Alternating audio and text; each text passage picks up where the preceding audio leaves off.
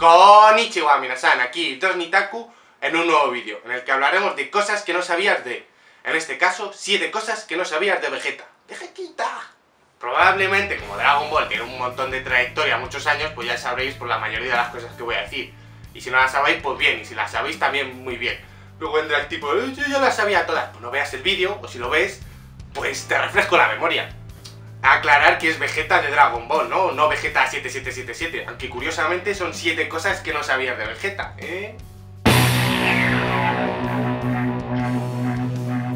Bueno, la primera de ellas. Realmente Vegeta es el rey de los Saiyajins. Es decir, eh, Vegeta así, así mismo se le dice todo el rato, oye, yo soy el príncipe y tal, no sé qué. Pero realmente cuando su padre murió, se supone que el heredero es él, ¿no? O sea, que Vegeta sería el rey. Ahora, que no se haya otro proclamado y historieta, pues vete tú a saber.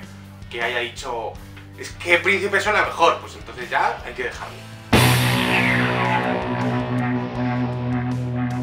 es una máquina de, destruir, ¿no? De matar, bueno, sobre todo al principio, ¿no? Él realmente se cargó a toda la fuerza Kingyu, a Android 18, a Pui Pui y realmente a un montón de civiles. Y también se cargó pues lo que es un planeta lleno de insectos, o sea que realmente si hay muertes en Dragon Ball y, y Vegeta pues ha, dado algunos ahí.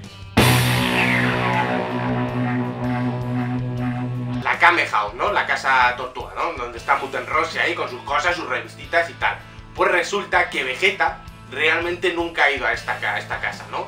Por ejemplo, cuando todos los guerreros Z se reúnen ahí en la saga de Cell y demás, pues Vegeta nunca llegó a pisar tierras pervertidas de Muten Rossi. Todos conoceremos la frase, ¿no? De su nivel de poder está por encima de los 9000, ¿no? Over 9000.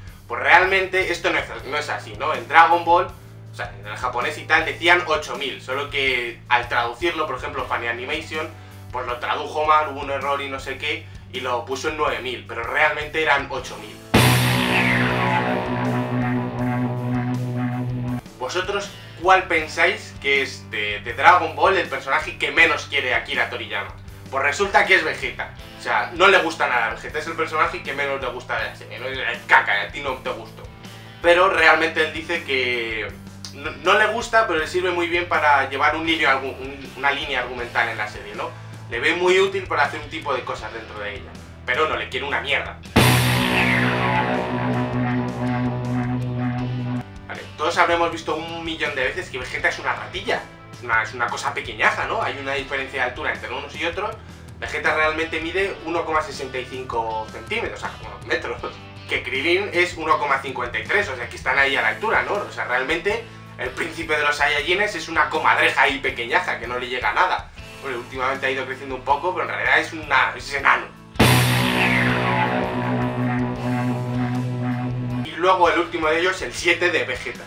Bueno, la última curiosidad, cosa que no sabías, que quizá no sabías, da igual si la sabes o no, de Vegeta es que tiene un hermano, ¿no? Que apareció en un especial de televisión y se llama Mesa. Bueno, en realidad es Starwell, ¿no? Que es más pequeño que él y eso, que tiene un hermano. Realmente no sabemos qué relación tiene entre estos dos, ¿no? Porque solo se les ha visto interactuar durante este especial, ¿no? Luego nunca se habló más de él. Y hasta aquí siete curiosidades o cosas que quizás sí sabías o quizás no sabías de Vegeta. Si sabes alguna más, pónmela en los comentarios. Y si te ha resultado este vídeo también. Y si no, pues también, si vais a poner lo que os dé la gana.